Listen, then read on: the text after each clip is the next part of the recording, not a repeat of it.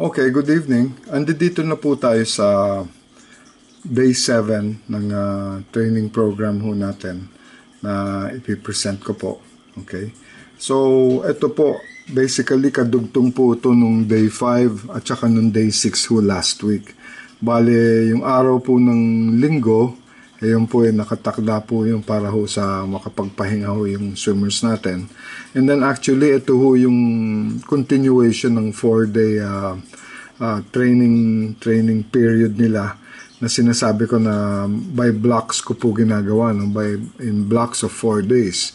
So ito ho, nangangulugan po ito po yung day 3 in effect kasi yung day 1 was uh, uh, the fifth uh, day day 2 was the was day 6 and then ito pong day 3 ito pong um, day 7 in effect no? So ganun po yung uh, yung nangyayari diyan so uh, let me present to you kung ano po yung uh, nilalaman po nitong training program na for Monday. Dalawang sessions po tayo, isa po sa umaga at isa po sa sa hapon, sa early evening, no, sa gabi. So, magsa-start po tayo ng uh, as usual yung warm-up po natin technique. Uh, because po meron hong intense na set po dito, uh, pace set na gagawin dito sa bandang baba. Uh, ang gagamitin ko pong warm up po dito is yung stroke na lalanguyin, which is of course yung freestyle.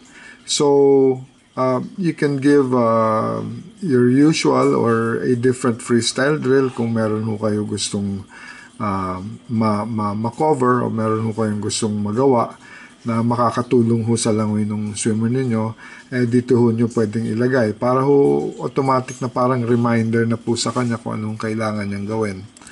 Tapos po no na palagi ho tayong magbigay ng core. Kasi ho gusto ho natin sila malutang ho sila sa tubig at saka kinakailangan po ini-engage din po itong itong uh, uh, muscles that involve the the, the core no So para para maigi ho yun languin nila nasa tamang uh, nasa tamang body position sila sa tubig. And then of course yung anaerobic power. I will give freestyle, okay? Uh, normally ho tong iaano ko yung mga breakouts bali coming from the push off, yung breakouts ho nila. Uh, I will use also flip turns pero flip turn lang, walang push off and then I will work on yung finish. Kasi po yun po yung mga pinapagawa ho sa mga swimmers no. Para kompleto po yung yung yung uh, ginagawa nila maliban lang ho dun sa turn. Ito po ang ang ginagawa ko po dito kaya wina-warm up ko po yung turn. Ang uh, i-explain ko ho dito sa main set kung ano ho talaga yung ginagawa namin tungkol diyan no. So ito po kaya ho may aerobic capacity ho dito na nauuna and this is good only for about 2 minutes, 2 minutes and a half na work period, ang, ang purpose ho nun is simulate ho yung first 100 meters na gagawin nila sa actual race. Kasi ho, hindi ho naman tayo nag-go all out eh, sa first 100 meters ng 400 meter race. Maginhawang maginhawa ho yung pakiramdam nun at saka parang parang kinakapalang ho ng swimmer yung kondisyon niya for for the first, first 400 no So, uh, the first 100 meters of a 400 race. So, normally po yun, ang effort po na related dun, parang nag aerobic capacity 2 lang sila. Kaya ho ito yung nilagay ko. Okay? Um, and then, of course, after 2 minutes, okay, uh, tuloy-tuloy na po dun sa aerobic power. Yung aerobic power po, ayun po yung pace ng 400 uh, meter event. Like, assuming oh, freestyle ho itong gagawin natin. This is the 200 best time divided by 2 bago plus 4 seconds. Ito po yun. Ayun po yung pace na gagamitin nila, na gagawin nila dito. No? And then right after they finish yung 4 minute uh, swim na yun, um, of work time, gagawa na ho sila ng aerobic capacity 1 for 10 minutes para ho makapag-recover. And then maybe just rest for another 3 minutes so that uh, magawa ho nila ulit ito. No? So, very important po itong uh, kukunin ng mga data dito kasi dito ho natin malalaman kung ano ho talaga yung kondisyon ng swimmers natin. Kukunan ho natin sila ng pulse. Two pulse readings yan. Isa po yung pagka-touch ho nila sa wall at saka within 30 seconds, kagaya ho ng nababanggit ko. Kukuha din ho tayo ng mga stroke count nila dito. Very important. Every 50, uh, the swimmer should be able to remember or should be able to note down uh, have a good idea kung ano yung yung yung stroke count niya every 50 meters. At syempre, mahalaga ho yung time. Yung number of breaths, so hindi ho masyado, hindi ho naman hypoxic set po to. But uh, this is uh, endurance training or this is uh, pace training for 400 meter events. Okay? So, gagawa ho tayo nito. Uh, uulitin ho natin dalawang beses. Okay? And then we will move on to our aerobic capacity um, one, which is a recovery set. Normally po, hindi na ho freestyle ang binibigay ko dito para naman ho ma-relax yung muscles tsaka hindi ho naman puro freestyle uh, muscles yung tinatrabaho natin. Pinalalangoy ko sila ng backstroke. Para ho, opposite, yung opposite na muscles naman, different muscle groups ang tinatrabaho para ho naman sila makapagpahinga ng konti. I-rest ho natin yung muscles pero palalangoy kahit na pinalalangoy ho natin, napapahinga ho yung mga muscles so yung movements na ginagawa nila dito for freestyle.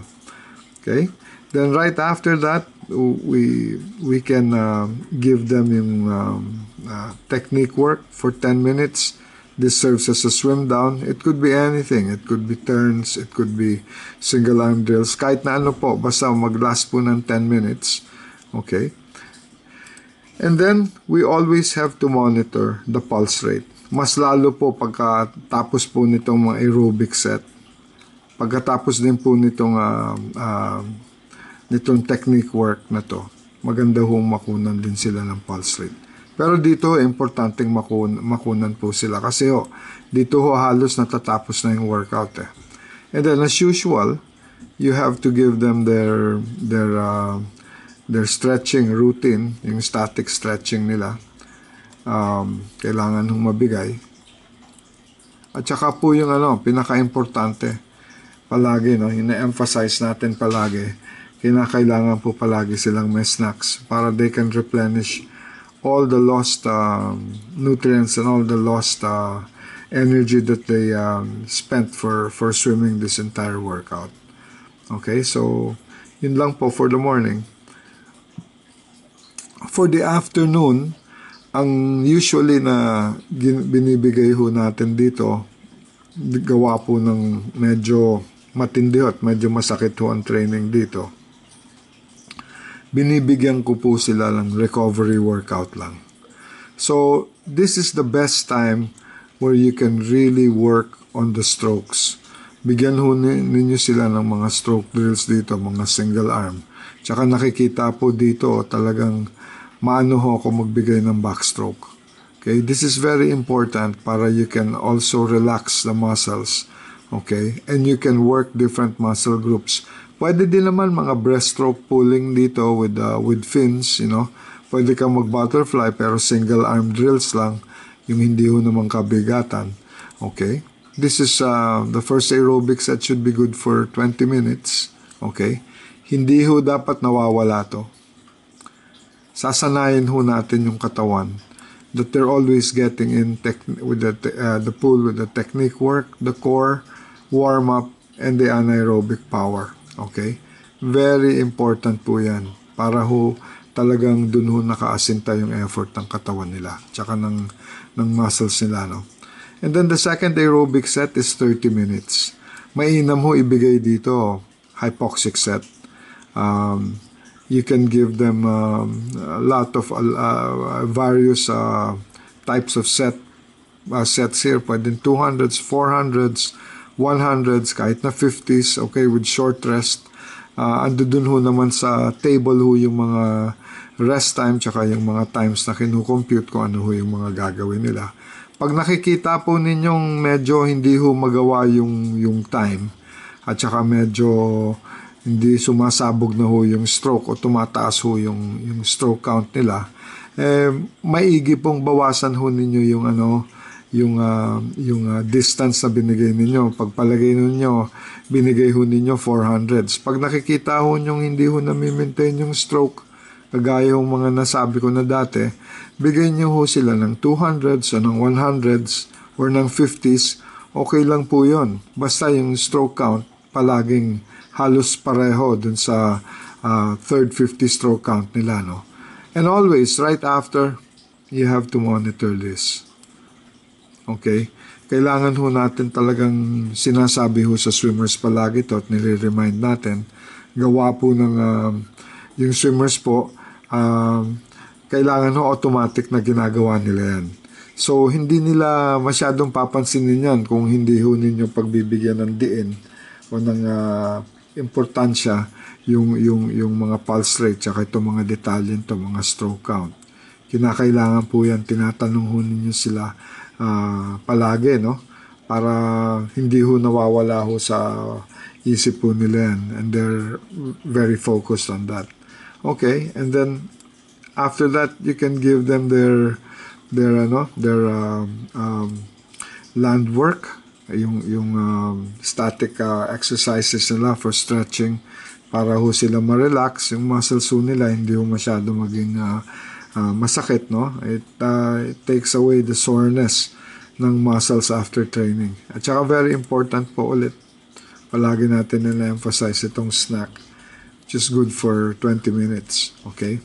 Yun lang naman po for Monday, okay? And then, uh, ipipresent ko po yung susunod na workout for for Tuesday. Okay? Kung meron ho kayong katanungan, eh, madali lang naman hong mag-email po sa akin. Nandito ho naman yung email ad ko pagkatapos ho ng presentation. Palagi ko naman ho inalalagay. O sige, maraming salamat po.